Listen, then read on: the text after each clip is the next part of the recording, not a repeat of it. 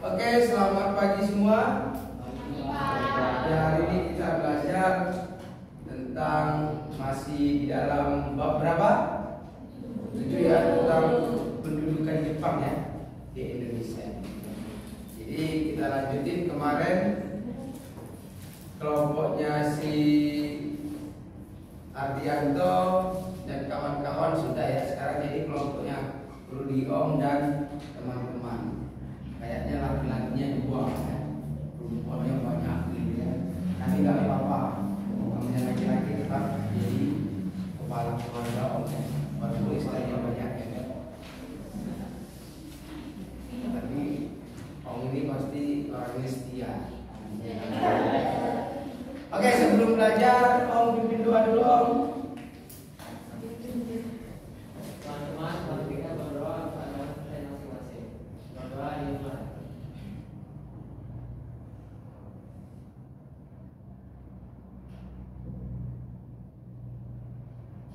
Berdoa selesai.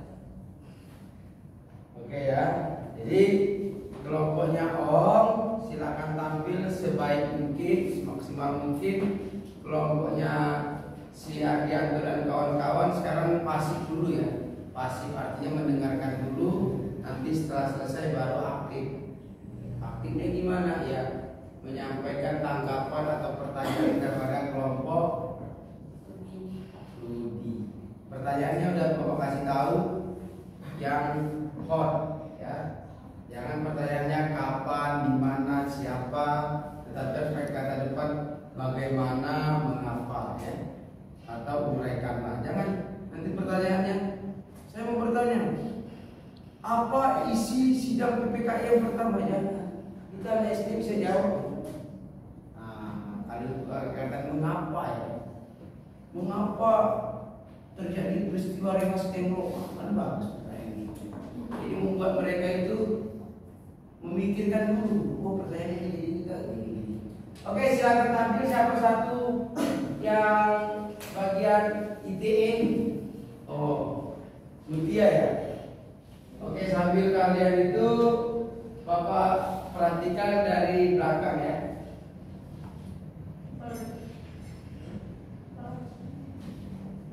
Yang yang ngomong di sini yang ada depan ya suaranya kuat kuat. Bahasa Batak kuat apa?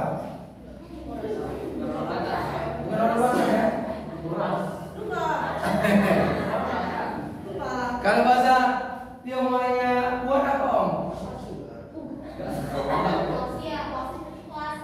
Posiang. Ayo jangan om. Selamat pagi teman-teman. Jadi di sini kami akan mempresentasikan tentang kedudukan Jepang, proklamasi kemerdekaan dan terbentuknya pemerintahan Indonesia. Om kuat kuat kuat kuat suaranya. Kurang. Oh makan banyak suara kurang. Di sini kami akan mempresentasikan tentang pendudukan Jepang, proklamasi kemerdekaan dan terbentuknya pemerintahan Indonesia. Yang pertama akan dimulai oleh Desi Napisila. Nah, siapa Deslin ya? Kok kuat ya?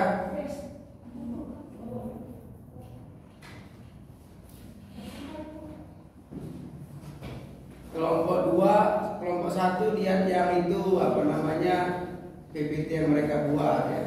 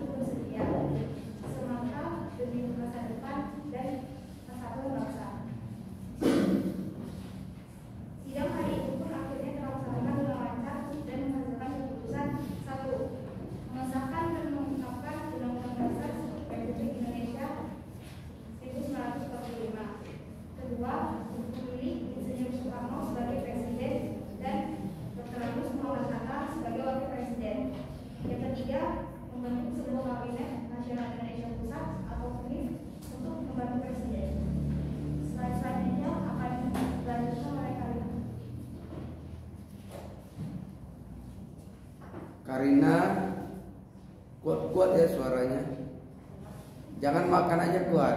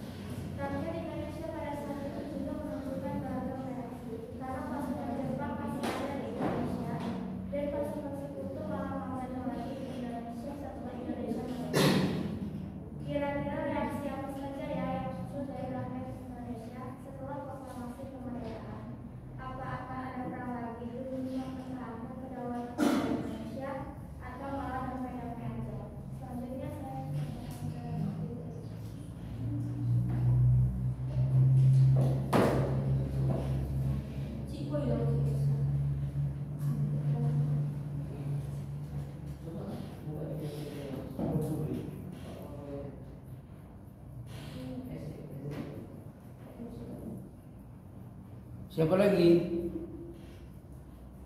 Siapa namanya? Siti. Oh Fitri udah ganti ya. Kok kuat, kok kuat ya? Udah makan kan nak? Oh, udah pagi. Siang belum? Nanti makan lagi siang.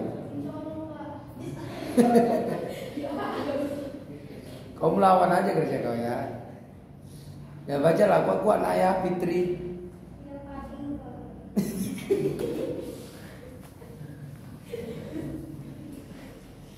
Masih tunggu lagi nih, Bapak minum kopi dulu.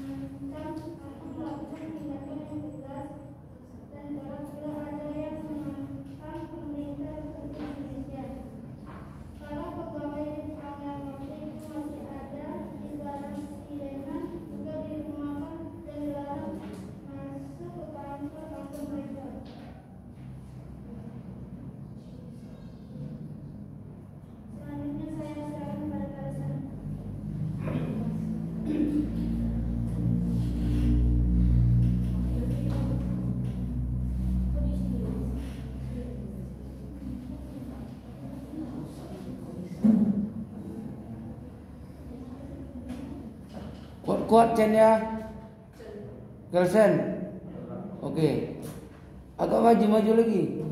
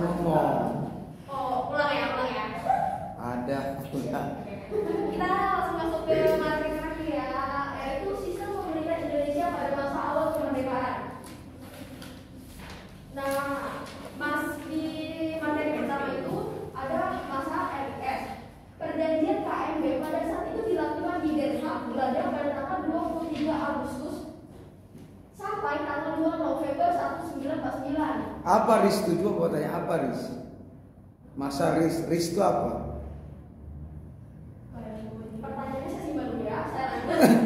Bapak tanya ris itu apa? Mau simpan. Jawab sekarang. Antara disimpan itu antara tahu dan enggak enggak tahu Bapak. Ris itu apa? Republik Indonesia Serikat. Ah. Iya, seperti itu. Hilanglah.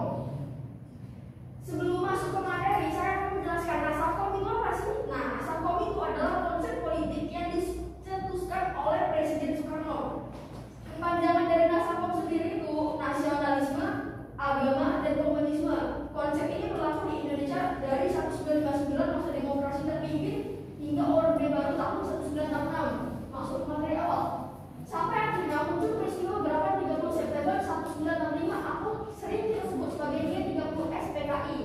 Setelah pemimpin komunis di Indonesia berhasil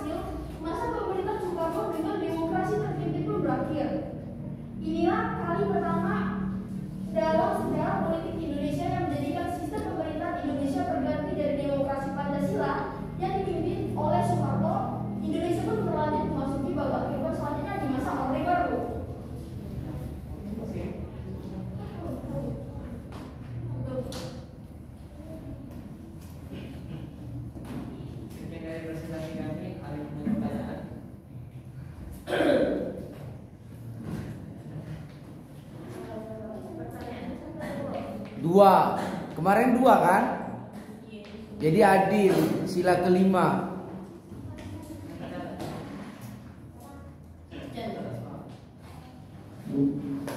Kalau bisa langsung jawab langsung jawab biar cepat.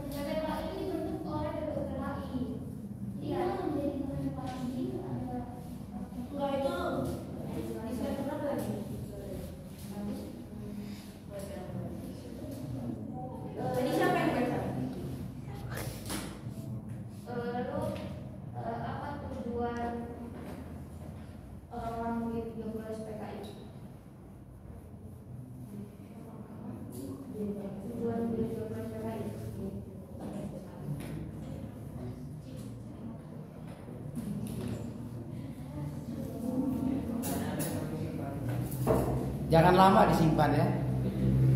Dua menit. Ini kau simpan bawa pulang-pulang.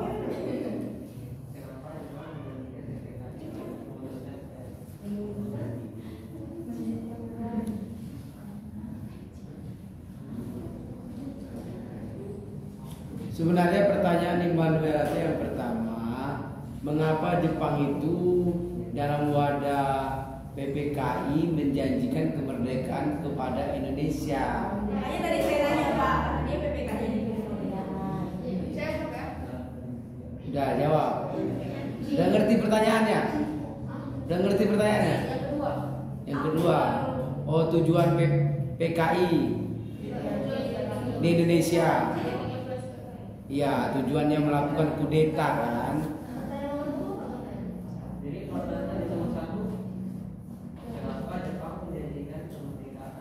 Ya jawab dulu anak yang bisa.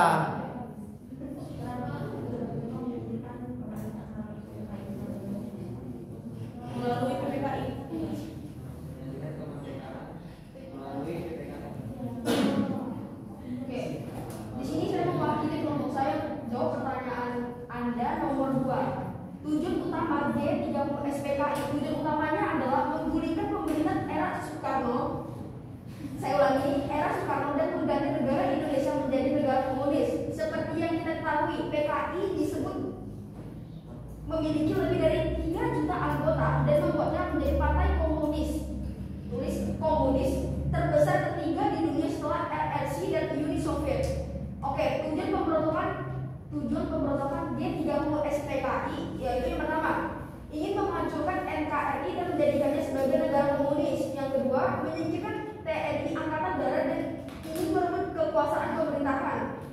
Dan yang terakhir mewujudkan cita-cita dari ideologi komunis yang akan membentuk pemerintahan komunis sebagai alat untuk mewujudkan masyarakat komunis.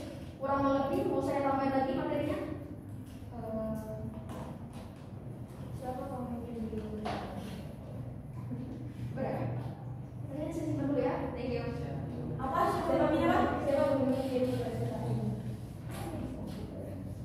Udah. Mimpinnya. Oh, mana nanya lagi ya? Nanya apa nak?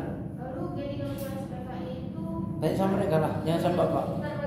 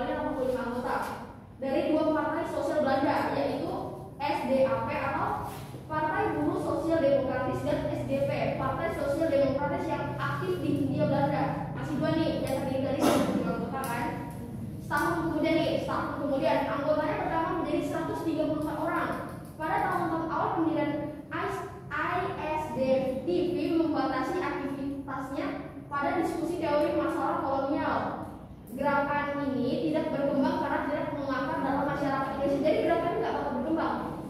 Masa-masa itu pula beberapa anggota SDP juga merupakan anggota Serikat Islam atau SI yang popularitas sedang melejit salah satunya semalam yang pada 1941 saya ulangi 1914 SI Surabaya yang dipimpin HOS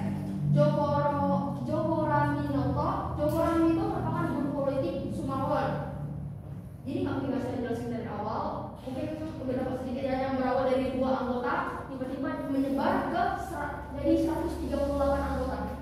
Lalu bergabung apa? Tadi partai Sosialis ada. Iya, Syarikat Islam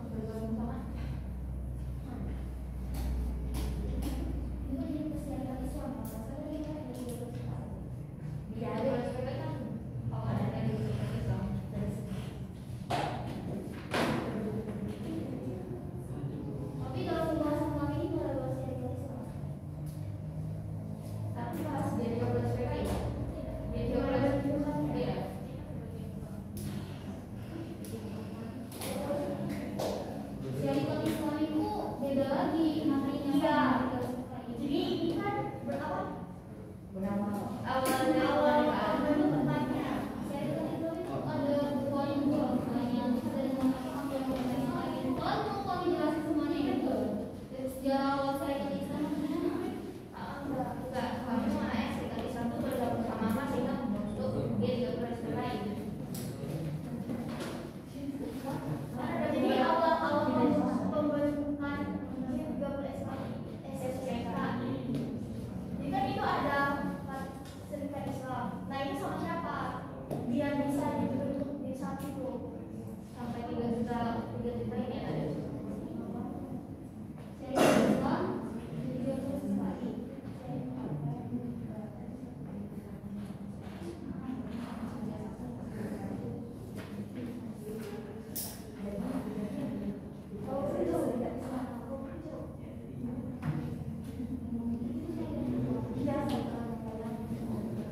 Jangan nomor satu dulu nomor satu. Sambil cari jawaban nomor dua. Mutia jawab. Nomor aja lah. Kok kuat?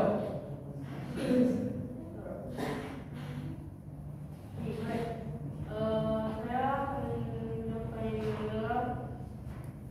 nomor satu. Eh, Kenapa Jepang menjanjikan kemerdekaan melalui PPKI? Pemerintahan Jepang memberikan janji kemerdekaan agar rakyat Indonesia tidak mengadakan perlawanan terhadap Jepang.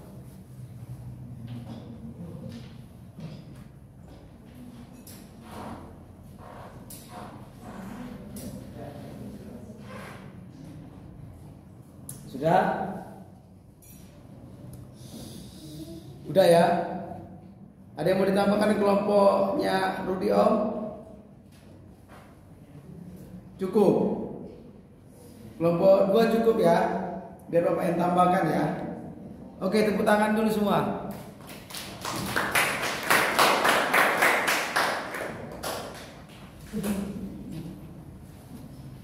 Oke ya.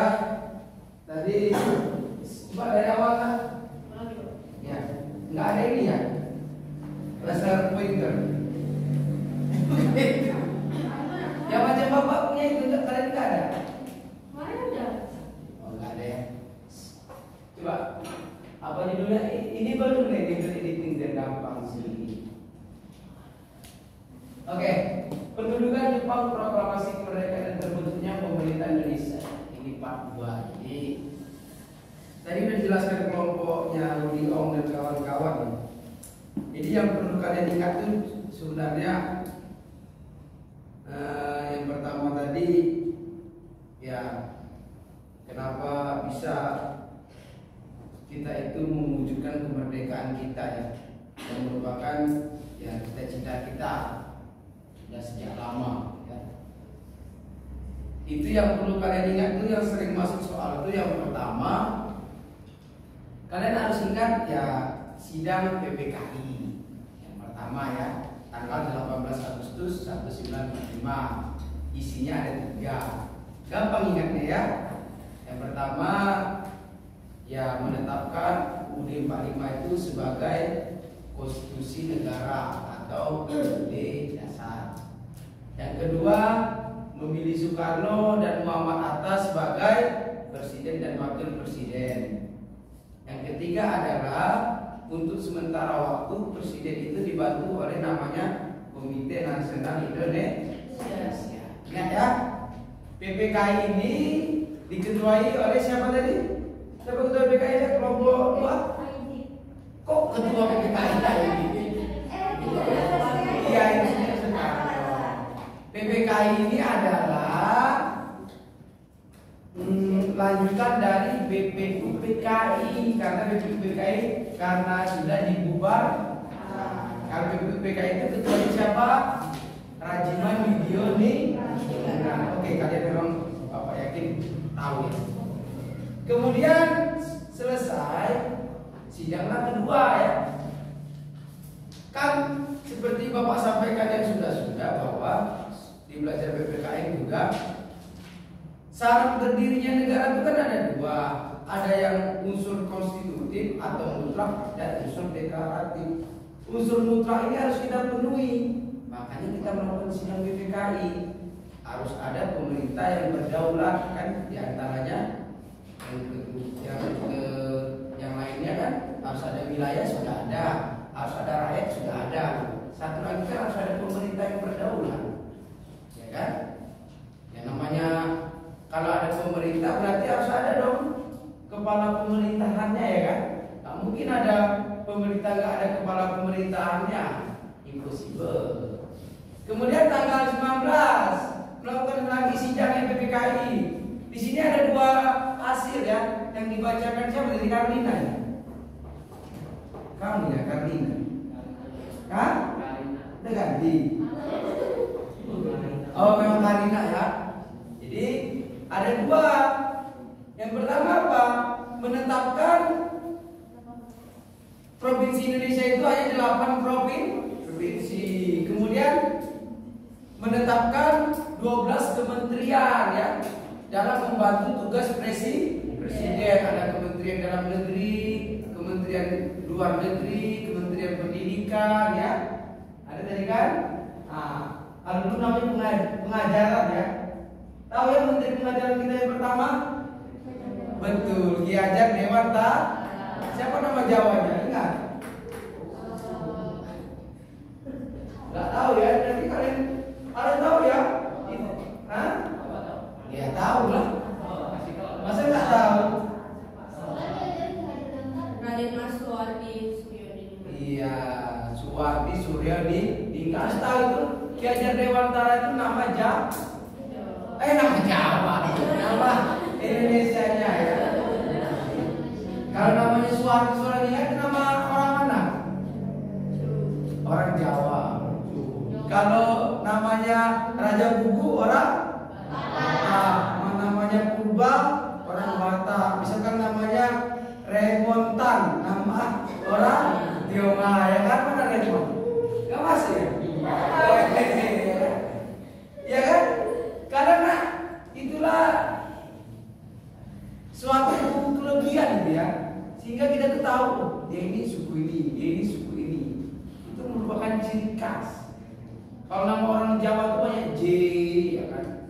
Yang udah nama Abdul Muhammad misalkan itu sebenarnya bukan nama orang Indonesia ya nama orang Arab gitu ya.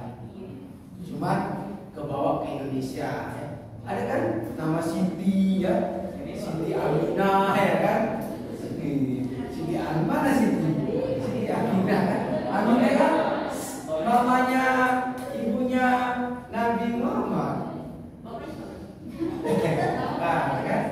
Kan ada lagunya.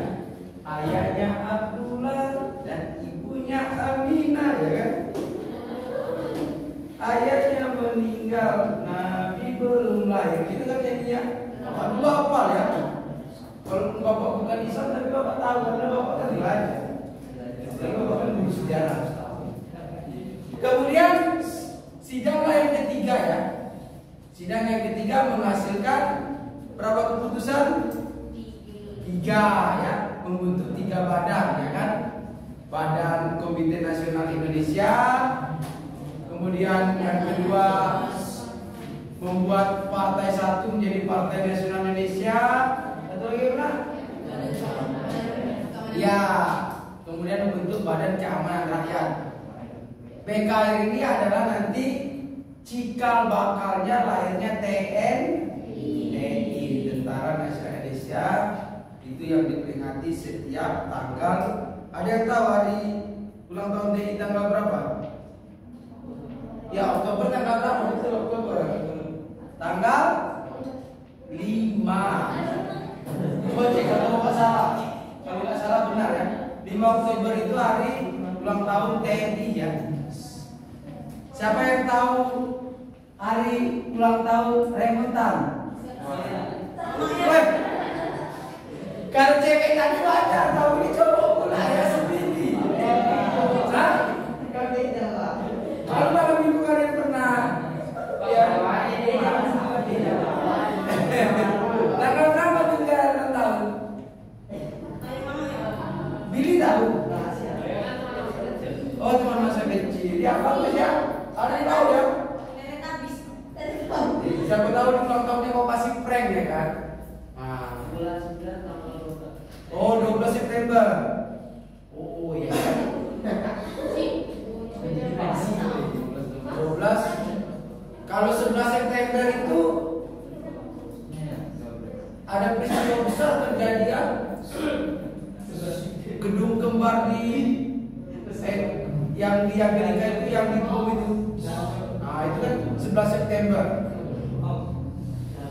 Kemudian ya muncul dukungan-dukungan reaksi terhadap kemerdekaan Indonesia di berbagai daerah. Seperti yang tadi di antara sampaikan ada dukungan dari ya kalau sekarang kita namakan itu gubernur ya gubernur Yogyakarta. Ya Yogyakarta Sultan Hamengkubuwono 9 ya 9 jadi banyak dukungan-dukungan ya. Oke Bapak rasa kalian kalau kelas 10 AKL ini Bapak yakin sebelum belajar sudah membaca dulu di rumah ya semuanya ya. Jadi sudah paham ya. Yakin Bapak. Jadi tadi diskusinya bagus. Kemudian pertanyaannya tadi ya. Pertanyaannya tadi dengar dulu. Yang pertama tadi ya dari kelompok satu, mengapa kemerdekaan Indonesia itu Jepang memberikan wadahnya PPKI yang pertama. Yang kedua tadi tentang G30 SPKI apa tujuannya jadi yang pertama itu memang ya Jepang itu ingin memberikan apa namanya menarik ya menarik simpati rakyat Indonesia dengan menjanjikan kemerdekaan ya kan? Menjanjikan kemerdekaan. Di awalnya kan sudah kan oleh Perdana Menteri Jepang itu Koiso akan memberikan kemerdekaan kepada Indonesia. Tetapi berjalannya waktu kan Jepang ini seperti tadi yang disampaikan tadi ada gambar bahwa dengan dijatuhkannya bom atom di Jepang ini membuat Jepang ini lemah. Jadi ya di Indonesia pun mereka ya lemah gitu. Sehingga di Indonesia pada waktu itu terjadi kekosongan kekuasaan. Para tokoh nasional ini ya harus mengambil kesempatan ini ya. Nah, kesempatan ini terutama golongan tokoh nasional yang yang masih muda-muda ya. Mendesak golongan tua itu ayo cepat kita jangan nunggu-nunggu Jepang memberikan kemerdekaan. Nah jadi gitu. Jadi intinya yang bapak kasih tahu bahwa kita merdeka ini adalah bukan karena hadiah Jepang bukan juga karena hadiah Amerika. Tetapi karena perjuangan bangsa Indonesia sesuai dengan pembukaan UUD 45 atas perjuangan bangsa Indonesia. Ya itu ya pertanyaannya tapi sudah, di, sudah dijawab kok tadi. Nah. yang kedua adalah tujuan PPKI eh tujuan PPKI tujuan PKI melakukan kudeta. Tadi jawabannya sudah benar ya. Tujuannya itu ya tujuan utama itu satu aja sih ingin mengganti ideologi negara kita yang tadinya Pancasila ingin menjadikan komunis. Kalau Bapak jelaskan nanti sejarah komunis ini panjang. Sejarah komunis Indonesia ini kan bukan berasal dari Indonesia, berasal dari luar, terutama Rusia ya. Itu dibawa ke Eropa. Ini tadi udah bawa ke sejarah itu ya apa namanya SI ya, Serikat Islam. Nanti kan Serikat Islam itu pecah dua. Satu ada yang kiri satu ada yang kanan ya kan? Yang kiri itu nantilah yang dibawa aliran sendiri itu ya. Nah gitu ya. Itu nanti panjang kalau ceritanya jadi gitu nah ya. Tujuannya satu aja sih. Dia ingin menggulingkan Soekarno ingin menggulingkan pemerintah lah pemerintah atau hmm, ingin menggulingkan pemerintah dan kemudian menjadikan pemerintahan kita ini dasar negaranya atau ideologinya adalah komunis tetapi tidak berhasil. Ya karena ya tidak begitu kuat gitu ya. Dibandingkan anggota TNI kita lebih banyak anggota TNI kita ya. Sebenarnya mereka juga orang Indonesia sih PKI itu ya. Namanya PKI Partai Komunis Indonesia Huh? Udah jam 10 ya? Oh iya, jadi Bapak itu kalau ngomong kadang kelamaan. Jadi gitulah ya. Partai Komunis Indonesia ya. Nah, sebenarnya komunis juga ini kan lebih dekat kepada Soekarno juga kan, seperti yang dibilang Sugiyadi. Soekarno itu membawa aliran Nasakom, nasionalis, agamis dan komunis. Jadi serba salah. Tapi memang komunis itu nggak cocok semenjak keluar TAP MPR beberapa itu Bapak lupa tahun 1967 atau 66 67 Pak saya dengan keluarnya TAP MPR tersebut segala yang bentuknya komunis baik itu partai ataupun apa pun itu itu tidak boleh bertumbuh dan berkembang di Indonesia Indonesia itu udah sah, sah. Jadi sampai sekarang ada lagi namanya komunis ya. jadi tapi meskipun ada orang yang nenek moyangnya komunis, orang tua komunis, kita ya nggak boleh kucilkan mereka ya. Karena ketika mereka mau lahir, mereka tidak bisa memilih. Ya, bapaknya komunis satu bapaknya enggak enggak bisa milih ya. Jadi bukan salah mereka gitu ya. Jadi jangan kita itu semua sekarang sama. Ya. Misalkan bapak nih, bapak kan nggak bisa milih dulu. Tuhan, lahirkan saya dari orang Jawa. Kan nggak bisa milih. Ternyata orang tua bapak orang Batak. Kalau bapak bisa milih, mungkin bapak nggak mau lahir di Indonesia. Lahir dia Inggris misalkan, ya kan? Kalau bisa milih misalkan, supaya besar besar ya kan? Paling tidak besar besar. Apalagi karena bapak hobi bola kan, bapak jadi bapak pemain bola ya kan? Macam David Beckham ya kan? Orang Indonesia kan kecil kecil ya kan? Ya kan? Mana ada yang tingginya rata-rata 180 Bapak aja semeter kurang. Nah, jadi gitu lah ya. Ketika lahir itu kita nggak bisa pilih Jadi ya udahlah. Inilah kita dikasih Tuhan. Jadi kita lahir di Indonesia Cintai bangsa Indonesia Mulai sekarang kalian Mudah-mudahan tidak ada lagi Yang bilang Wih kau anak PKI, anak PKI Jangan ya Naya Walaupun kalian tahu jangan. Karena dia enggak ingin nggak bisa memilih. Banyak penduduk itu nak di kampung-kampung. PKI ini kan dulu nak. Orang orang dulu gampang menjadi PKI kenapa? Mereka itu dikasih bantu-bantuan. Dikasih makanan ini ini masuk PKI masuk masuk. Gitu tahu apa? Apa jadi masih namanya masyarakat desa ya. Ini gitu. Ini dikasih campur kalau tadi itu dikasih semua dikasih semua gitu itu yang membuat mereka itu berkembang pesat. Kata suci tadi udah hampir 3 juta jiwa ya. Banyak 3 juta nah kita ini aja yang segini aja kita 22 tambah bapak. Tambah Iqbal 23 ya. Bicara Apalagi 3 juta ya. Penduduk Batam aja masih satu setengah. 3 juta udah banyak kan? Tapi belum sebanyak TNI Makanya mereka enggak nggak menang ya. Nah, namanya yang jahat itu nak pasti nggak selamanya kuat ya. Yang jahat itu pasti kalah sama kebenaran. Meskipun kebenaran itu terungkap itu kadang membutuhkan waktu yang panjang. Karena panjang mengungkapkan kebenaran. Oke sampai di sini sebelum bapak tutup silakan tanya sama bapak. Ada? Nah, kayaknya memang kalau disuruh tanya kalian itu udah paham semua ya. Antara paham sama enggak apa enggak tahu. Tapi Pak yakin udah paham. Jadi gini aja, jadi yang kalkulasi bab tujuhnya itu kerjakan kelompok aja. Jadi nanti udah siap ya? Nanti ambil aja kertasnya sama Bapak. Udah siap? Oh semua udah siap. Berarti minggu depan kita periksa ya. Oke. Oke. Oh kemarin kan Bapak WA aku om ya? Rudi om. Oke. Sampai sini dulu belajar kita pagi ini semoga apa yang kita pelajari itu bermanfaat untuk kita semua.